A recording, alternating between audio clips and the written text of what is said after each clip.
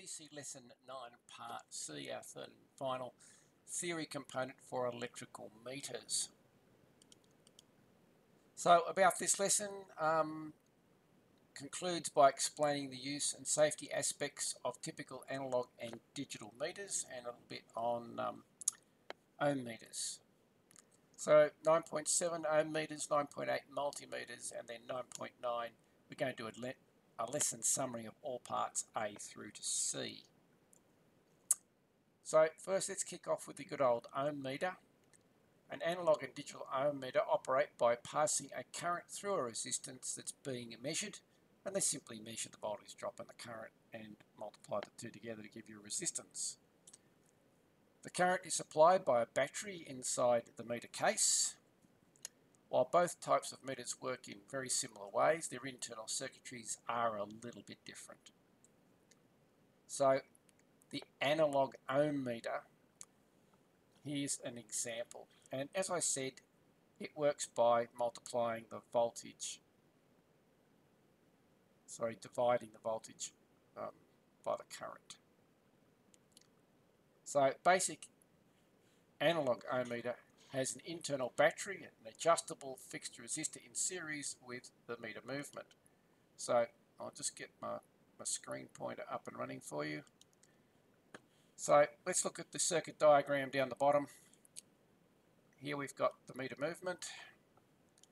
We've got a resistor, which is a, a multiplying resistor. Then we've got a variable resistor in the circuit here a battery supplying some current, and then a resistor under test on the terminal. So it is just a simple series circuit, and effectively we're measuring the current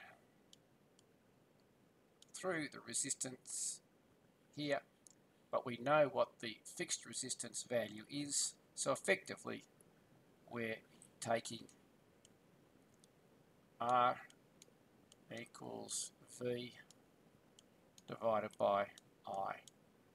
So that's what the relationship between R1, measuring the voltage across it, and the meter, and giving you a reading in ohms.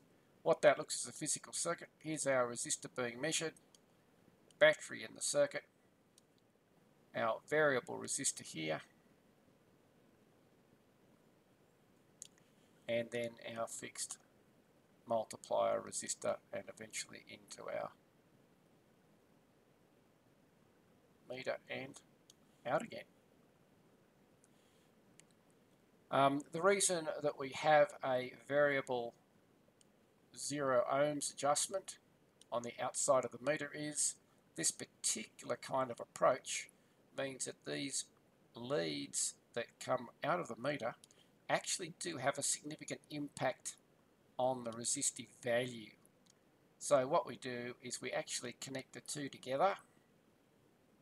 Then we use our adjustment knob and we make sure that that meter is actually reading zero before we actually measure across our unknown resistance.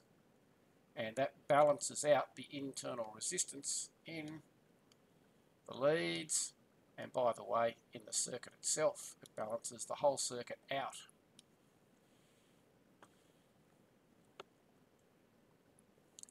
So analog ohm adjustments, as I was just saying, if you're not very careful, you've got to make sure the mechanical zero is set to zero, making sure that end of the scale is spot on.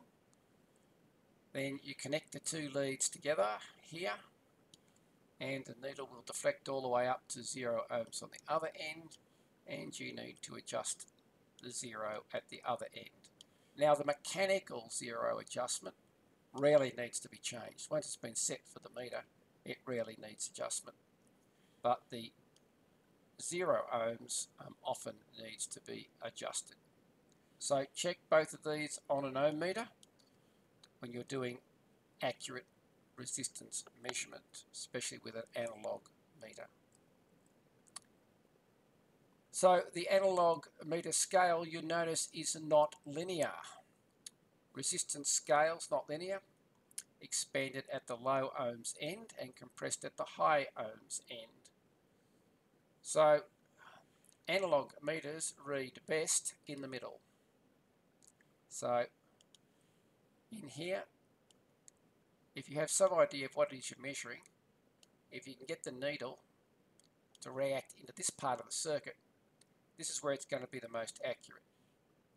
Up here, you're going to have inaccuracies because the scale is too compressed. Down here, you're going to have inaccuracies because a tiny bit of resistance will make a big difference on the scale. So sensitivity issues up there and compression issues up here and best to keep your reading if you possibly can center scale between the 10 and the 20.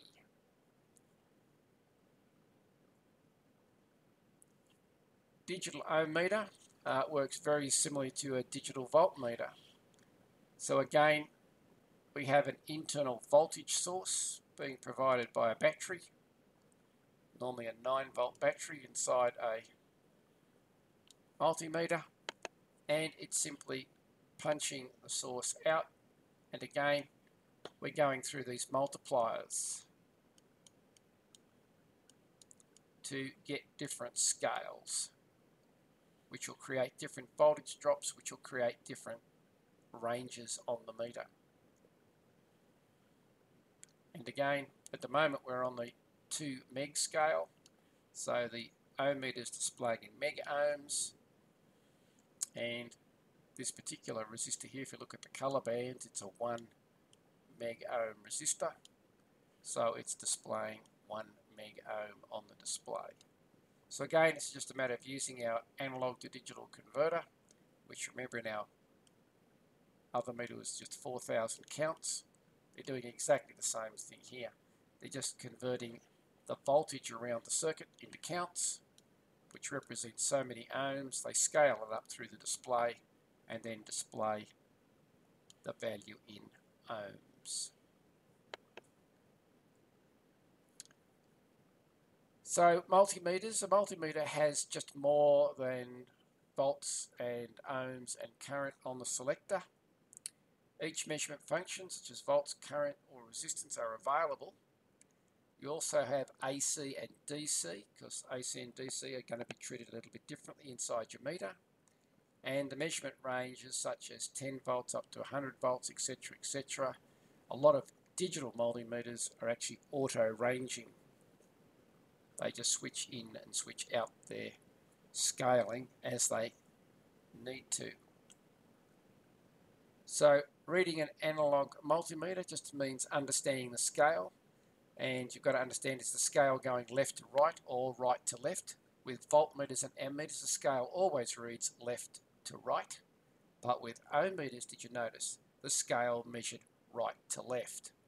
So be careful with uh, meter scales and we talk in major divisions. Divisions and minor divisions are the are the keywords that we, we use when we're talking about meters.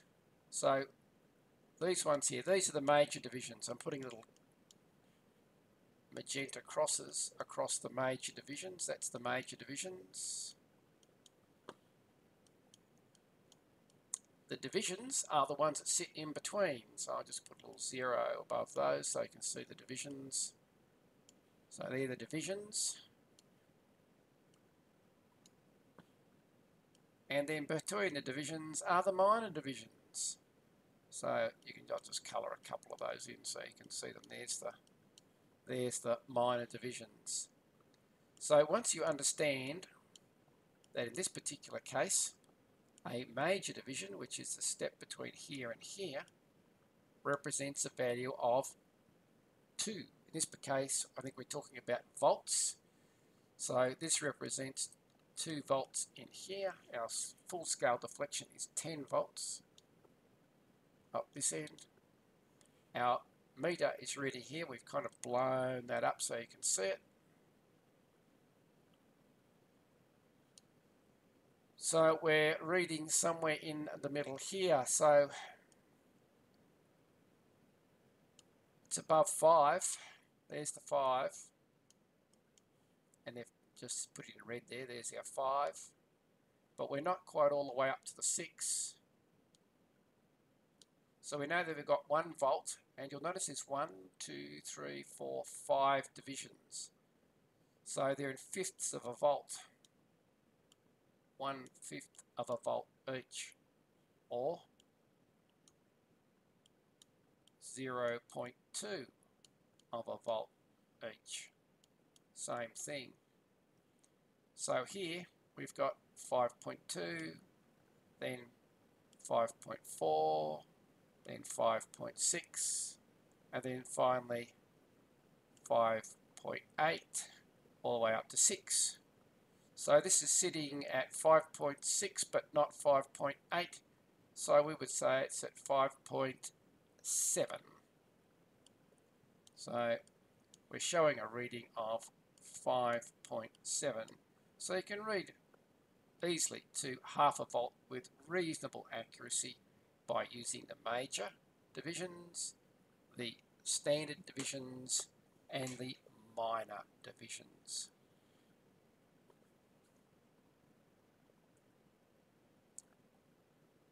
Example of a uh, analog multimeter scale. So here's the scale in all its glorious detail. And again, let's not get too complicated with all the stuff on the screen. Um, you'll notice that let's start at the blue scale, the ohms. So we've got an ohms and a kilo ohms scale. And which one you use will depend on which one of these you select. And you'll notice the scale goes from zero on this end to full scale on this end. So this one is reading right to left. So we're reading in this direction. If you come down to the next scale, which is the AC voltage scale, so this is volts AC in here, it's measuring the other way around. It's zero on this end, full scale on that end. And the same for DC amps and for AC volts. So for current and voltage, the meter reads left to right. But, for resistance, it measures right to left. So just be aware that there are differences when it comes to an analog multimeter. It's one of the great things about a digital one, you don't have to think about it.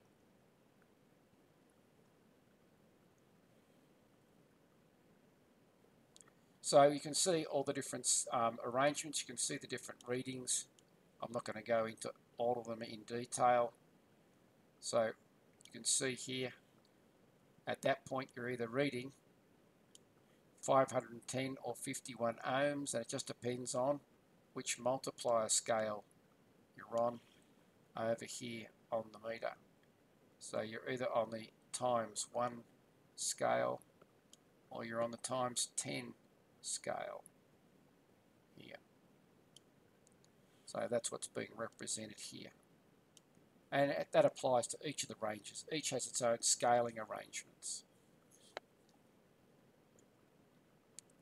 Um, parallax error is important when using analog meters. You've got to be able to look right over the top. If you can see the reflection of the needle in the mirror, so there's a mirror on the scale, especially on the larger, good quality meters. There's a mirror. So here, mirror,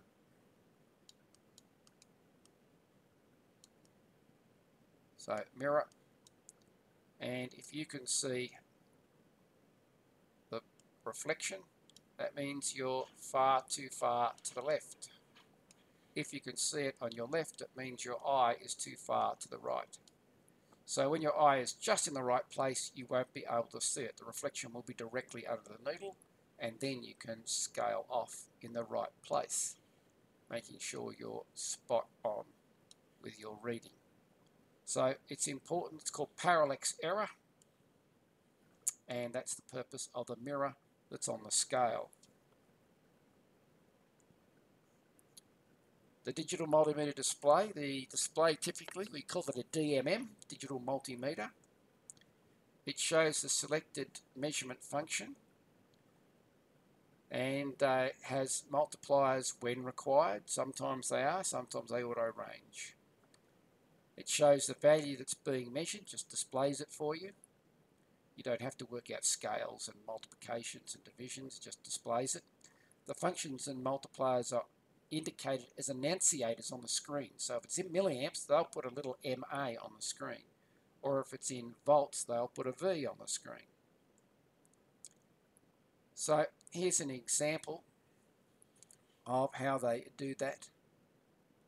So you can see here, screen pen on, we're on millivolts and you can see here millivolts DC and it's displaying 2.5 millivolts and it's on manual because the auto ranging feature has been turned off. On this one we're on DC volts and it's auto ranging and at the moment it's displaying 19.33 volts. Down here on the AC, AC volts, and the voltage is very small. It's in millivolts. So I've got millivolts AC, so 159.5 millivolts. And then over here, the voltage has gone up considerably. It's auto ranged itself and it's now displaying 240 volts AC. So you can see with digital multimeters, you don't have to worry about multipliers and a lot of scaling. You've just got to learn to read the information that's presented on the display of the digital multimeter. Similarly, here's one that's measuring current, and you can see we can measure AC current or DC current and in this particular case you use this button to select backwards and forwards between the two values. And how can you tell?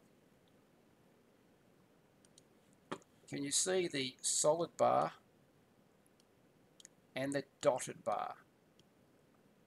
Solid bar means DC dotted bar means AC and the AC symbol is in yellow. So to get to AC, it defaults to DC, and you've got to press the yellow button to convert it into AC. So when you first turn on, you're going to get DC, but if you want to measure AC, you've got to press the yellow button, and it will then change the scaling to read AC volts, or AC current, I should say, in this particular case. It does the same with volts. Same thing happens. You can see with the volt scale, there is a solid bar and a dotted bar, solid bar and a dotted bar, because you switch between them using the yellow button. On the ohm scale, the ohm scale on a multimeter is almost always auto-ranging. So you can see here we're on ohms and Obviously it's open circuit at the moment and we're getting overload it's called. OL just means infinitely open. Here we've got a resistor of 10.43 kilo ohms so it's displaying 10.43 but see the display is in k ohms so you've got to make sure you multiply that by times 10 to the 3 because it's in thousands. Similarly there is a low resistance range and you'll see it comes back in just ordinary ohms. Some of these have actually milli ohm scales depending on what the quality of your meter. In this particular case we're reading a very low value, 0.9 of an ohm. So very very small resistance values. So you just change your ohms scale to something smaller for here. Instrument safety. Electrical test instruments are given in category ratings, categories 1, 2, 3 and 4. Um, the rating also includes the maximum voltage the instrument can handle. A meter rated to 1000 volts must be able to withstand higher voltages up to 6000 or 6 kV. Meter probes are also given category ratings, so they also come in categories 1, 2, 3 and 4. Each category is based on the level of fault protection. That is the amount of current you can put through the instrument before you will cause physical damage, fire and damage to yourself, often through burns. So a Cat 4 is the highest category of an unprotected supply. So you're going to get the maximum protection out of a Cat 4 meter. Cat 3 is a typical category, um, supply protected, and it normally has a serviceable fuse inside to do that. Category 2 equipment is uh, connected to a power outlet. And Category 1 low fault. Know, if you go and buy an El Cheapy uh, meter from Jaycar for 15 or $20, I can guarantee you it's a category 1. It will not handle much voltage or fault conditions. So it's all about fault current, how much energy your meter can cope with to operate its protective devices is what all the categories are actually about. And you'll see written on the device, you can see the meter category ratings are normally printed on the front and the category may change depending on the scale. So here on 600 volts it's category 3, but on 1000 volts it's only category 2. So often it only applies to the voltage measurement. So category 3, 600 volts, category ratings up more than that, it's only a category 2. Ideally, a rating should be indicated tested to, so it's been actually tested to the category. It's not a theoretical category. You want tested to the category. So again, if you look carefully on the probes, you can see here, printed on the probes, 1000 volts, category 3 to 10 amps. So it will protect you from 10 amps, category 3, excuse me, up to a thousand volts.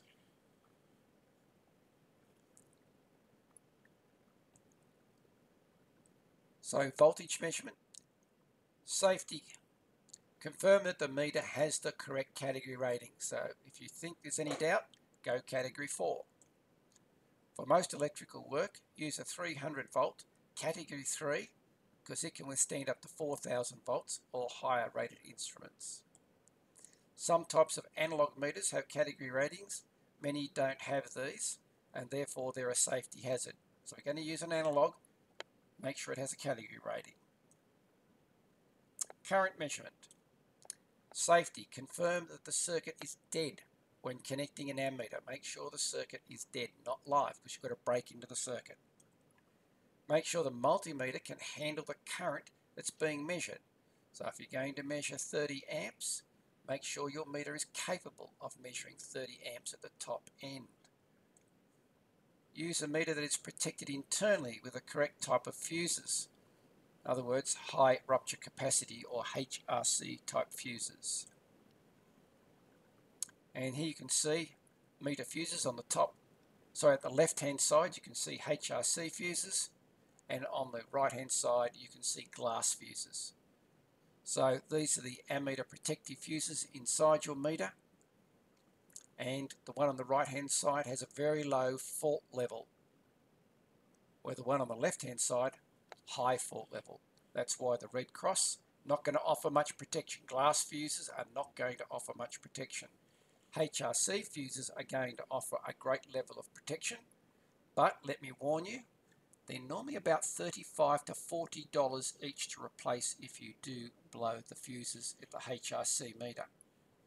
So it can be an expensive exercise if you start blowing your ammeter fuses. So it's always good to make sure you've set your ammeter to the maximum current and then work your way back. So using a digital multimeter as an ammeter, DMMs usually have extra sockets for current measurement, and you can see it here. We've got a 10 amp socket and a 40 milliamp socket. So if you're measuring a, a circuit, you know you can have less than 40 milliamps, use this one because it's going to give you better accuracy. If it's above 40 milliamps, you're going to have to use the 10 amp. If you're going above 10 amps, you're just going to have to get another meter.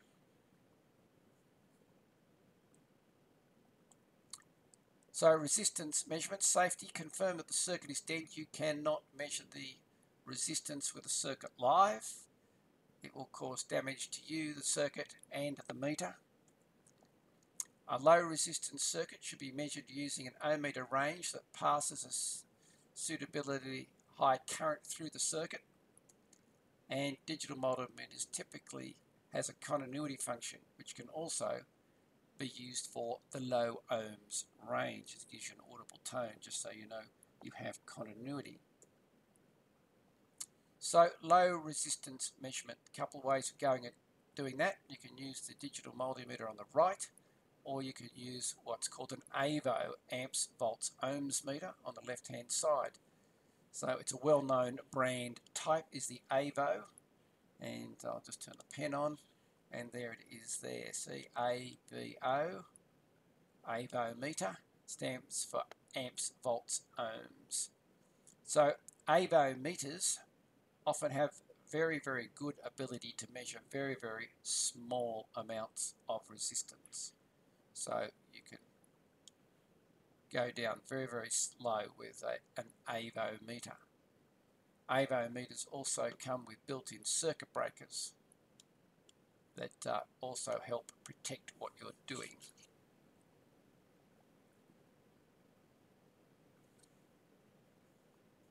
The AVO meter also offers you these individual zeroing adjustments. So when you're playing with low voltages, you can really get the accuracy down by using the appropriate zeroing potentiometer. Diode testing only available with digitals. So the semiconductor that passes current in one direction only um, has two terminals called the anode and the cathode. If a positive compared to a cathode will conduct current and the voltage across the diode will always be around uh, 5, 0.6, maybe even 0.7. If negative relative to the cathode, the diode will not conduct and will act as an open circuit and will look like infinite. So this is what diodes typically look like. Sometimes they have the diode symbol stamped on them. Diodes come in many different cases, outlines, voltage ranges, etc. So when you're testing a diode with your multimeter, you can see on the left hand side there's a diode forward reading. It's got uh, 0.495, nearly 5 volts forward. And then on the right hand side we've turned it around and you can see it's gone open circuit, which is what you'd expect a diode to do. So that's a good diode. So that brings us to the end of lesson 9 using meters. So let's summarize A through to C. An ammeter is connected in series, always in series, with a circuit under test and comprises of a meter, be it analog or digital, connected across a very low value resistor because it's connected across the resistor in parallel. We use the special term shunt resistor. The resistance of the shunt is generally only a few milliohms, normally very, very small, but large wattage can dissipate a fair amount of heat. A multi-range ammeter often has a universal or Ayrton shunt rather than separate shunt resistors, just to save space and room. A voltmeter is connected in parallel with a circuit under test, always in parallel and comprises a meter, whether it be analog or digital, connected in series with a high value of resistance we call the multiplier. For an analog meter movement, the required resistance can be found by multiplying the movement's sensitivity in ohms per volt by the maximum voltage for that particular range. The resistance of an analog voltmeter changes with each voltage range, so you just need to be aware of that. The higher the range, the higher the resistance and the less loading effect on the meter has. So the higher voltages we're reading, the less effect it's going to have on the circuit. The resistance of a digital voltmeter is the same on all the ranges and it's usually 10 mega ohms plus, in other words, almost an open circuit. An ohm meter passes current through the resistance that's being measured. The value of the current depends on the meter, the resistance range, the resistance that's being measured. When measuring low resistance values, a high test current above 1 milliamp gives a more reliable reading. So if you're going to measure something's very low resistance, best to use as high a current as you can muster. Multimeters and their ancillaries, probes, plugs, etc. should be rated according to the category of work that's being carried out. That's category 1, 2, 3 or 4. For me, I never use anything less than a category 3 or a category 4 meter. Category 3 refers to 240 volts, sorry, 230 volts, 400 volts AC, mains wiring protected by service fuses. So it's typically an indoors type thing. Voltage measurement should be done with a category 3, 300 volts or better, rated voltmeter or multimeter. So like I said, stick to Cat 3 or better. Analog multimeters have a pointer scale that uh, covers all the meter functionalities that are available to you. Scales have major, minor divisions, to give resolution of two decimal places. Remember the scales for volts and current measure left to right, but ohms measures right to left. A digital multimeter, an LCD display, has normally four digits to show a reading and it has annunciators to show the selected meter functionality and range. So K to indicate a reading is in K ohms, not just in ohms, for example. A good digital multimeter will have a properly rated HRC fuse to protect against overload and overcurrent. Glass fuses are not suitable and are potentially dangerous in many applications. So be very careful. If your meter's got uh, glass fuses, I'd suggest you go and buy a better form of meter.